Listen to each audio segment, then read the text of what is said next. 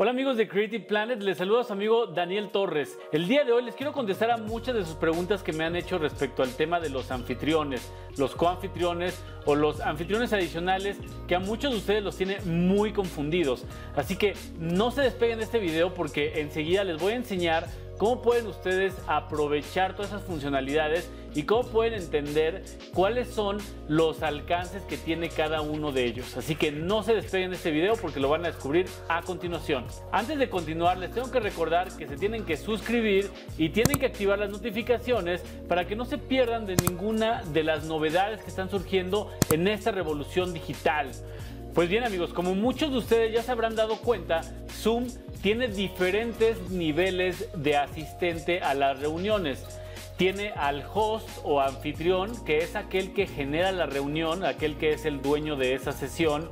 Tenemos también al co-host o co-anfitrión, el cual sirve como una especie de administrador, de moderador, que va a ayudar al host a, realizar ciertas actividades dentro de las reuniones. Y también por ahí tenemos a los anfitriones adicionales que son anfitriones que el mismo host define para que puedan iniciar la reunión en representación del host. Entonces, yo les voy a mostrar a continuación a detalle cuáles son cada una de las características que tiene cada uno de estos perfiles y de qué manera ustedes pueden sacarles el máximo provecho. Dentro de la página de soporte de Zoom tenemos un artículo que se llama roles en una reunión. Si nos damos cuenta en este artículo que tenemos aquí en pantalla, podemos darnos cuenta cuáles son las características que tiene cada uno de ellos. En este caso, como ya les hablé del anfitrión, el coanfitrión o el anfitrión alternativo. Y tenemos una tabla comparativa donde vamos a poder ver a detalle qué es lo que cada uno puede.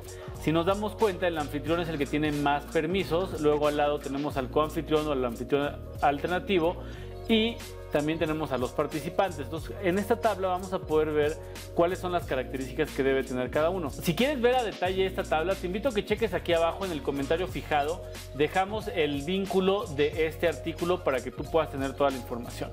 Entonces, como nos podemos dar cuenta, una de las características que no tiene el co-host o anfitrión alternativo en este caso, no tiene la posibilidad de crear o editar votaciones.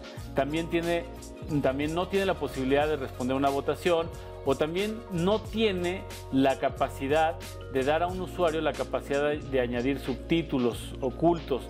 Tampoco puede finalizar una reunión.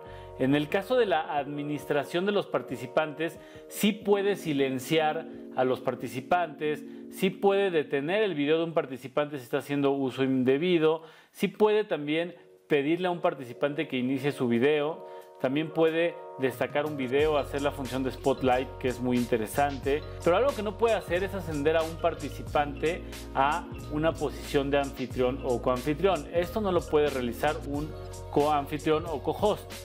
Y como pueden darse cuenta, aquí podemos ver otra de las características muy importantes que no puede utilizar un co-host es administrar los breakout rooms o las salas de grupos pequeñas. Tampoco puede hacer esto el co-host, pero algo que sí puede hacer es grabar.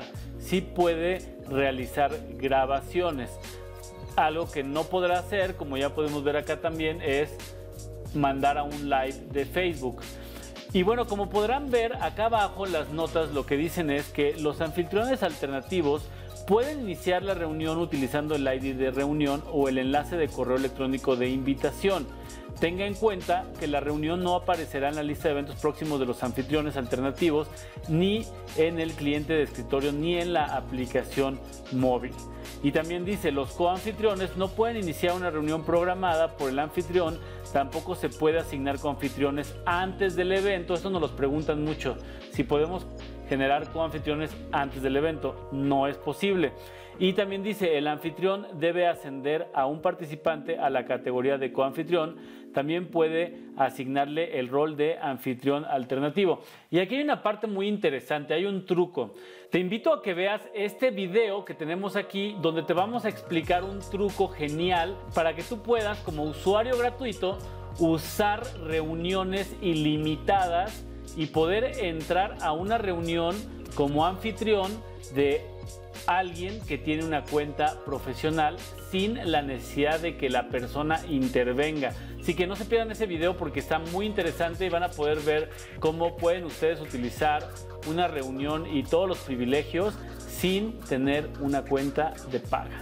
Y bueno amigos, esto ha sido todo en este video. Espero que les haya funcionado, les haya servido de mucho.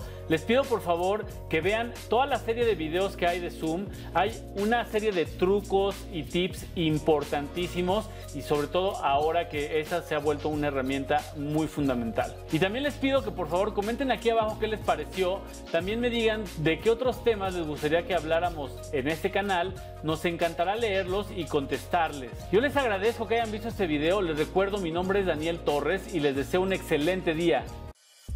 Amigos de Creative Planet, gracias por haber visto este video. Yo te invito a que te suscribas y actives la campanita para que te enteres de nuestros estrenos antes que nadie. Recuerda, si este video te sirvió, dale like y compártelo para que ayudes a alguien más. No te pierdas ninguno de los videos a continuación. Dale click, dale click.